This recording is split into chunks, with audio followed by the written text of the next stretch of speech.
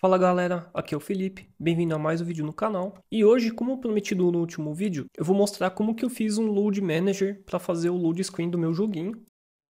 Igual essa tela aqui que vocês acabaram de ver. E esse vai ser o último vídeo usando esse projeto do jogo 3D. Eu deixei ele já meio completo, então a partir desse ponto, quem for membro aqui do canal vai ter acesso a esse jogo, assim como os outros. Então já deixa aquele like, se inscreva no canal se você não for inscrito ainda e bora pro vídeo. E como vocês viram, eu já tenho isso funcionando e eu vou fazer uma versão 2 aqui para mostrar para vocês passo a passo como é que faz. Quando eu fiz, eu gravei um vídeo e ficou muito comprido, então eu decidi fazer desse jeito que é mais fácil e aí vocês podem acompanhar mais rápido. Vamos lá. Como vocês podem ver aqui, eu já tenho esse load manager.gd, que é o script que eu criei. Então, o primeiro passo é criar um script novo. Vamos criar aqui, create new script.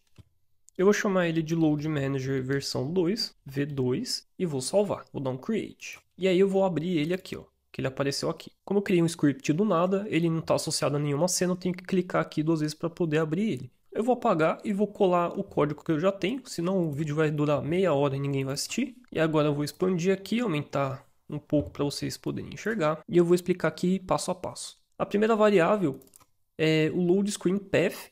Então já vamos parar aqui, porque isso é um pré-requisito é, você tem que ter um load screen para mostrar o load screen, certo? Então eu vou mostrar como que eu fiz aqui. Eu fiz essa cena aqui, ó, 2D, bem simples. É, só tem esse color rect, que é a mesma cor, esse mesmo cinza aqui da Godot. Esse progress bar, uma label de loading e um timer. Esse timer aqui é de um e meio, um segundo e meio. Esse é o tempo mínimo para a tela ficar aparecendo. Eu fiz isso só porque desaparecia muito rápido a tela aqui no computador, então eu botei um tempo mínimo só para ficar aqui. Essa minha load screen tem um script bem simples também, vou abrir. Então ela é um nó control aqui no root. Tem as duas referências da progress bar e do timer aqui. Eu tenho duas variáveis, pode continuar e uma se ele deve dar um query free nele mesmo, né? Então são duas possibilidades. Então ele vai ficar esperando esse um segundo e meio do timer para dar um query free. Vocês não precisam fazer isso, o que importa é isso daqui, ó.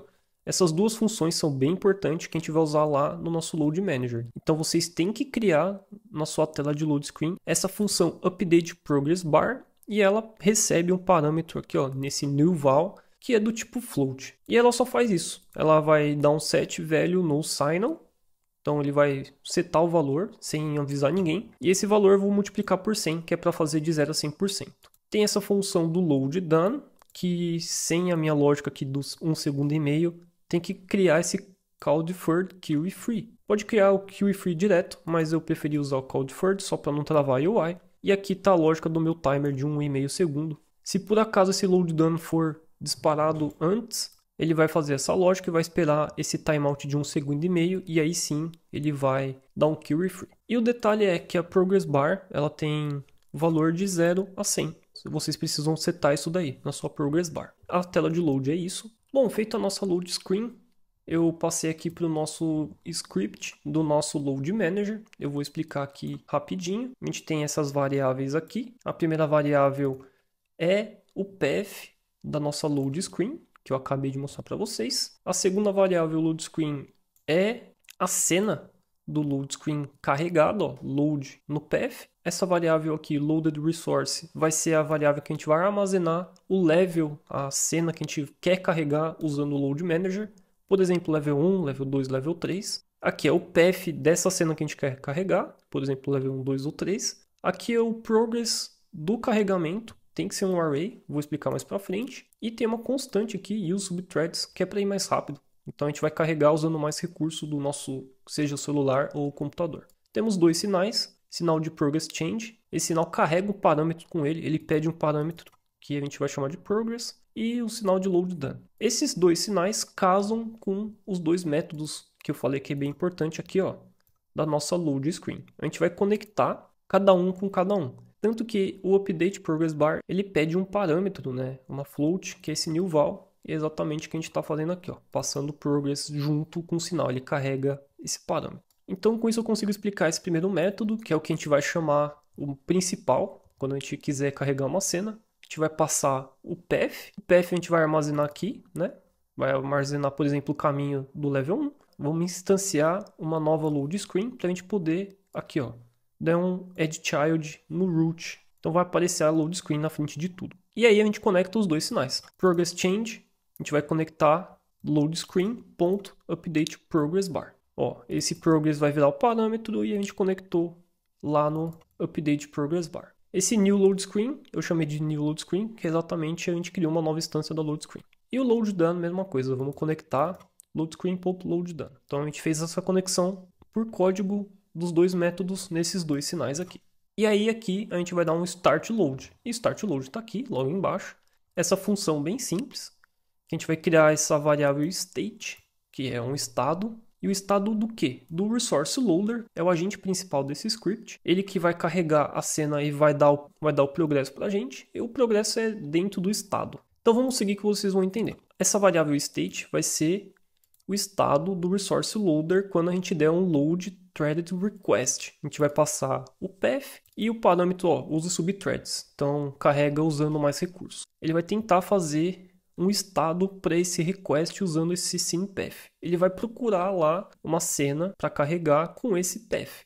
Ele vai atualizar essa variável de estado de acordo com o que ele achar lá. Então, a gente vai dar um if. Se o estado for ok, significa que ele achou uma cena para carregar com esse path. E aí a gente vai fazer o que? A gente vai dar esse set process igual a true. A gente vai falar resource loader, você pode começar o processo de carregamento. E aí a gente vem aqui na função process, né, a função que todo nó tem, e a gente vai criar essa variável toda vez que passar aqui, né? Lembra que fica passando de tempos em tempos, por isso que tem o delta aqui. Então, toda vez que ficar processando, a gente vai criar uma variável chamada status, load status, que vai ser o resource loader, nosso agente, ponto load threaded get status. A gente montou o request, falou, ó, tenta carregar isso daqui, ele falou, beleza, tá tudo certo. A gente vai lá, então carrega, e aí no process a gente vai pegar o status desse carregamento.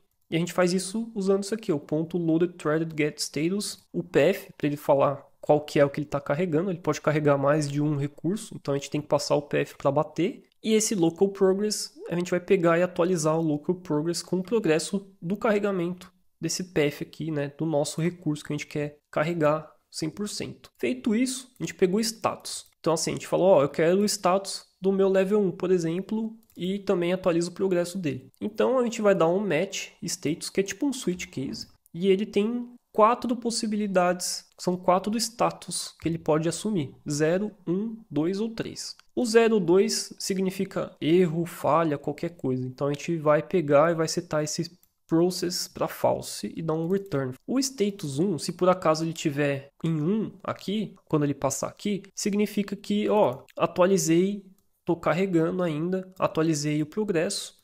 Então a gente vai dar um append aqui, ó, a gente vai colocar esse número, sei lá, 50% que ele está carregando, vamos colocar lá no array, tá? Por isso que é o index 0. Então atualizamos o primeiro elemento do progress change com esse valor atualizado. E aí a gente vai emitir esse sinal com essa variável atualizada, ó, aqui, tá vendo? Então a gente pegou e atualizou, ó, o progresso foi atualizado, sei lá, 50%. Aí, como está conectado aqui, ó, lá na nossa load screen com o nosso progress bar, vai atualizar o progress bar, porque está conectado o sinal. E aí, feito isso, por exemplo, passou uma, duas, três vezes aqui, está carregando, vai atualizando lá o valor.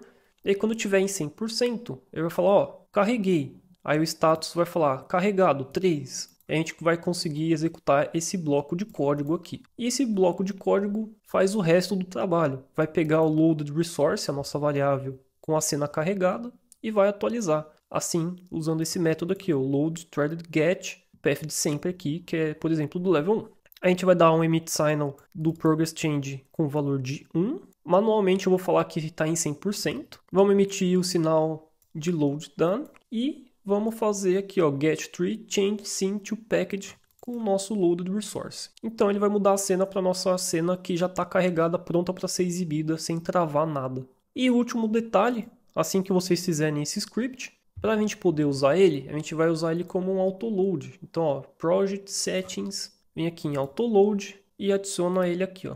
Vou adicionar só para vocês verem. Tá na minha pasta de shared, ó, Load Manager versão 2.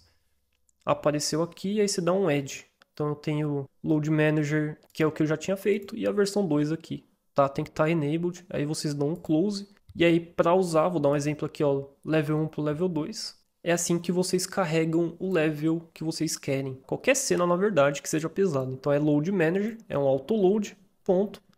Load scene, que é aqui, ó, função principal. E aí passa o path do level 2. E aí ao fazer isso, a load screen vai ser exibida, a lógica do nosso Load Manager vai correr e assim que estiver pronto, vamos mudar para o level 2. E fazendo isso a gente evita travar o nosso joguinho, principalmente no mobile, que aparece uma tela cinza e fica feio, né? E inclusive a Apple ou a Play Store, o Google pode recusar o seu jogo lá na loja. Eles vão falar, ah, você travou a UI para o usuário. Não pode. E aí a gente vai ter essa lógica aqui de carregamento funcionando. Esse é o resultado final desse vídeo. E é isso, eu espero que vocês tenham gostado. E eu quero agradecer todo mundo que acompanhou até aqui os vídeos dessa série do jogo 3D. Eu vou deixar disponível esse projeto do jeito que tá, com o menu de pause, tudo bonitinho para quem se tornar membro do canal. Tem duas formas de você ou se tornar membro ou fazer uma contribuição aí se não for atrapalhar. Uma é pelo livepix.gg, a outra é pelo Buy Me a Coffee. E é isso, deixa aquele like que ajuda bastante o canal, comenta qualquer coisa que também ajuda o engajamento. E para os próximos vídeos é, eu vou fazer alguma coisa bem diferente. Então se liguem no canal, se inscreva aí se você não for inscrito, aguarde os próximos passos. Tem o Discord também, o link vai estar aqui embaixo na descrição do vídeo. Muito obrigado e até a próxima.